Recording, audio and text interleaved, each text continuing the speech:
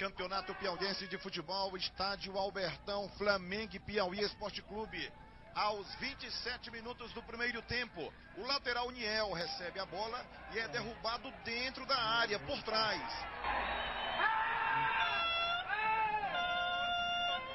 Para a cobrança, Ítalo, com paradinha, ele faz Flamengo 1, Piauí 0. Quase o goleiro do Enxuga Rato defende, mas a bola entrou no fundo do barbante.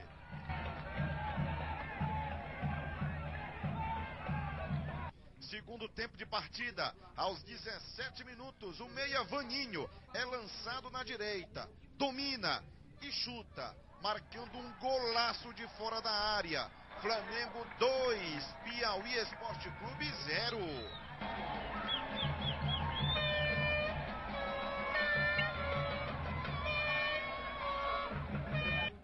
Minutos depois, aos 19, pênalti em Rony do Flamengo.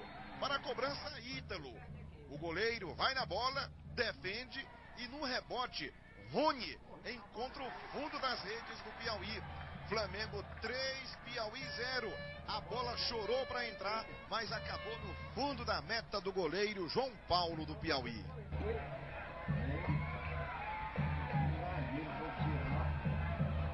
Aos 23 minutos, o juiz Júlio César marca pênalti de Serginho Matogrossense em cima de Zé Maria.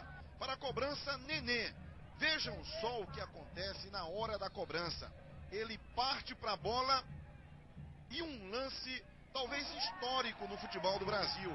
Quando a bola é chutada por Nenê, para na grama encharcada por conta da chuva. E aí o goleiro do Flamengo, Robson, defende. Inédito isso no futebol piauiense. Aos 27 minutos, Vaninho passa para Aniel, também deixar o seu. Um golaço do lateral do Flamengo. Passeio rubro-negro em cima do Piauí. Flamengo 4, Piauí 0. Foi o placar final no estádio Albertão.